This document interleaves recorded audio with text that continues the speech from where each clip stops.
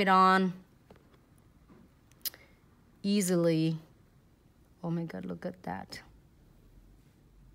This pigment is so beautiful. And doesn't matter, don't afraid of to uh, apply more than just one.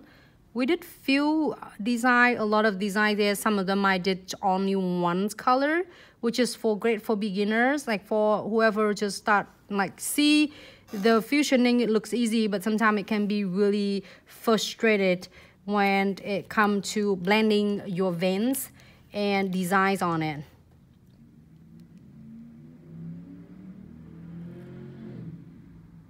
It looks so cool though. It's like uh let me move it here for a second. And each each time you need just a little bit. You don't need a whole lot. Just a little bit go a long way and then I'm gonna have a the last one is delight which is like a yellow.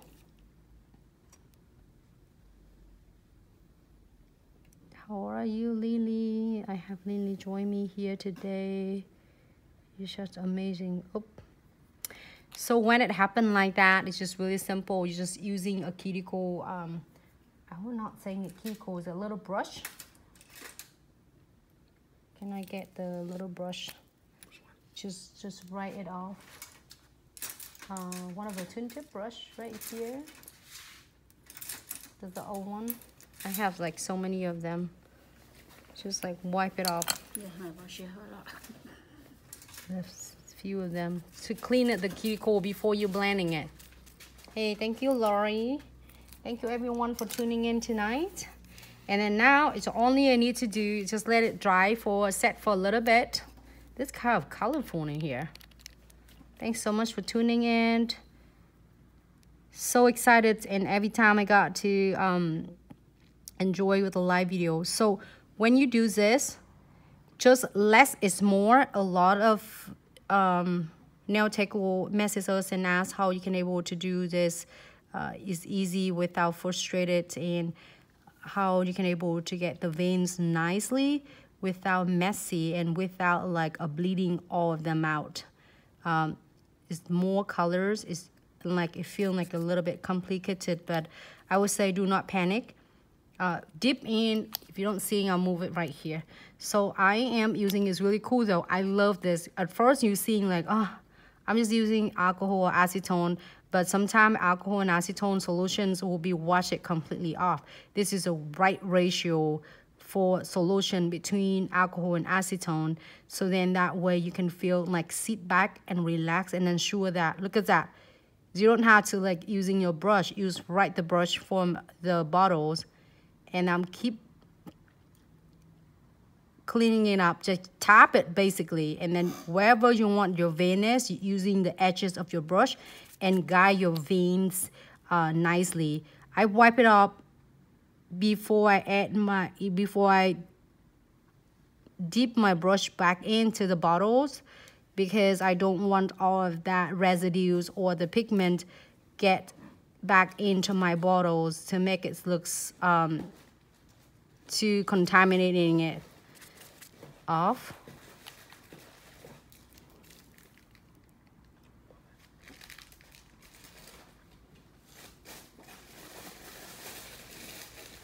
So excited to get to see everyone today. Happy Monday.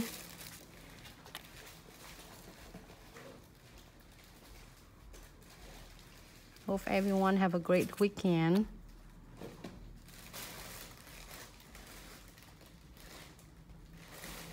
I want to get my veins nicely. Less is more. You don't need a whole lot of your solution but using the edges of it to make your veins looks nice. And work its one, you know, I'm gonna do it, I'm gonna do the S shape and work it as the veins going naturally. Blend, blend is important. Like the same how you do in your makeup, blending is important. It's gonna make it so much different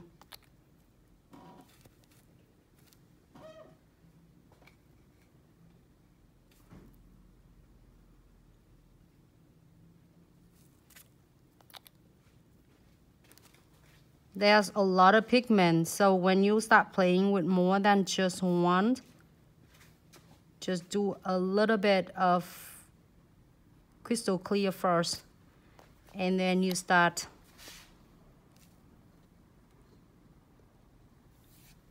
define your veins. Let's see doesn't matter how many veins you want to do just make sure you clean that first before you tap it in. And now I start doing it like I have no idea of what I want to do so I start define the veins more as you can see in it. With this I have to say I'm really pleased with this crystal clear because um, you don't even need the brushes or you don't even need anything that will be make you frustrated just let it set. Like you're seeing that it's still wet in that part. I'm gonna leave that part alone. And I'm gonna I'm gonna create the veins right here.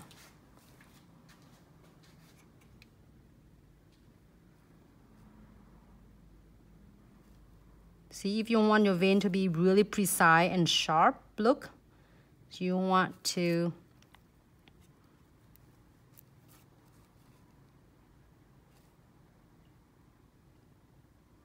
cleaning up on both sides and let the veins going right in the centers. So, you know, like marbles, it doesn't have any, it's like limitless. You can do like really a lot of veins or can you can have it like a clean look and have less veins like a lot of videos that I was sharing it with you.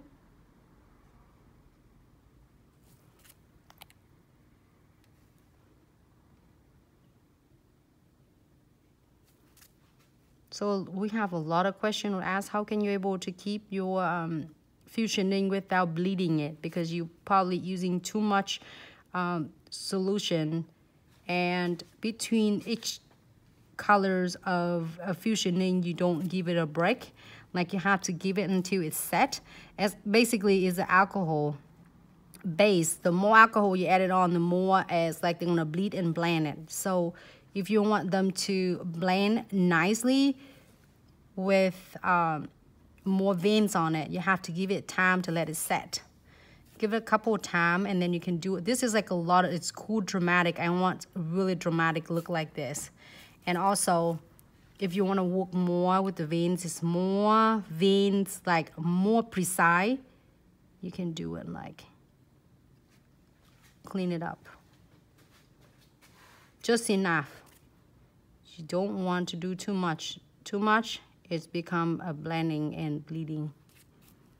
I think it's so good and I like that so much, but you can play with a different way let me know how you do and uh, how you create your fusion ink. I would love to see it and also we can feature you.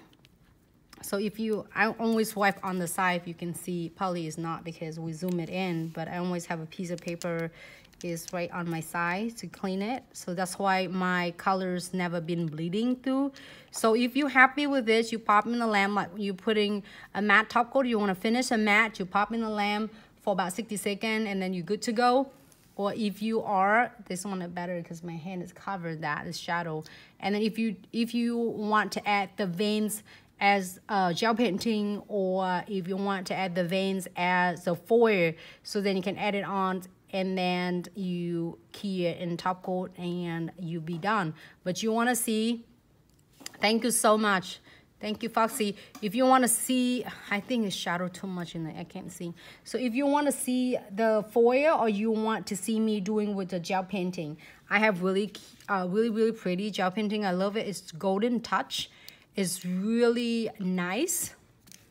Um, just a piece of it. And or I can do a foil let me know what you want to see. Last video when like all of us said, oh, I want like painting gel and then others want to see uh, foil. So either way, so let me get prepared for this. Sorry. I'm gonna get a piece of paper sticky right now with the alcohol. Hey AC, how are you? So I'm gonna put my, I'm gonna put my um, premium Iho uh, transfer foil gels right here on my sides and my palettes right there.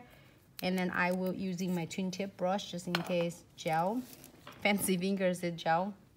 I'm gonna use this anyway because this um this one I'm gonna use it in a little bit. So this is, I love this. You will never go wrong, either gels or uh. So I'm so excited. With this, you wanna make it looks really cute and natural looks. So you're gonna make the veins look, some of the vein thicker than the others and some of them are like uh, more details on. So I'm gonna pick up like really good amount of gel painting.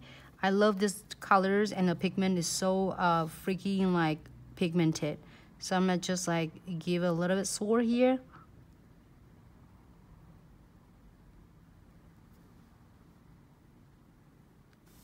And then you don't want the vein to be too heavy, but it's really depend on your clients, okay? Like your clients are, oh, I don't care, Nancy, I want a lot of veins. That's okay, but if the clients like let you create and you want to be soft look to matching, you can do is like a soft or you can do it thicker. It's really, it's up to you, however you would like it. I'm gonna put a little bit thicker in there. Like it looks like a natural vein.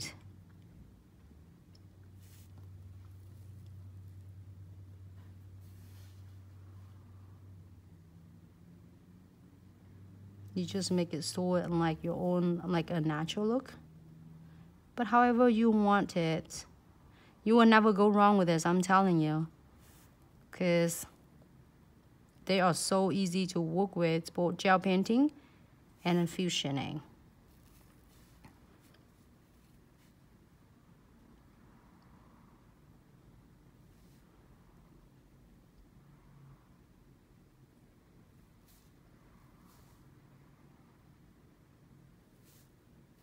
If you're on Facebook, please feel free to share for all for your friends. And also, here's the best tip and trick.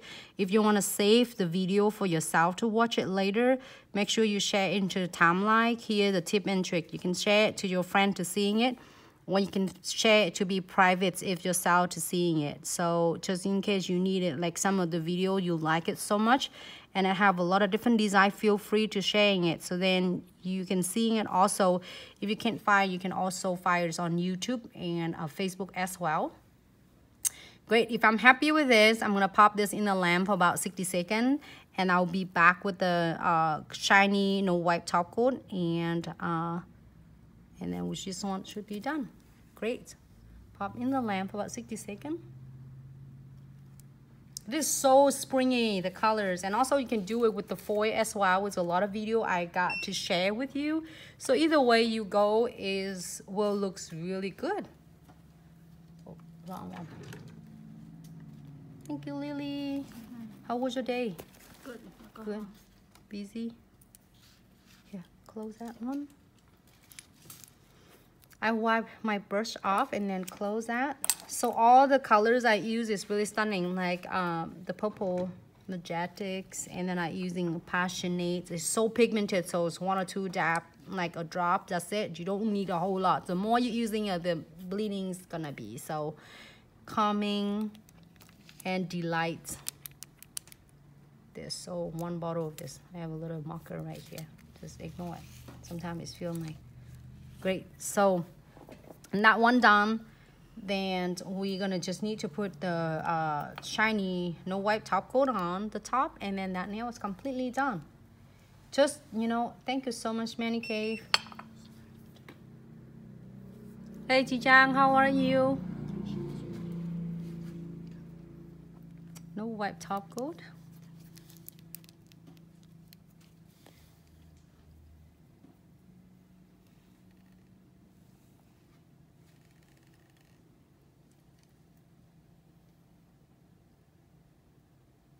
Great. Pop in the lamp for about 60 seconds.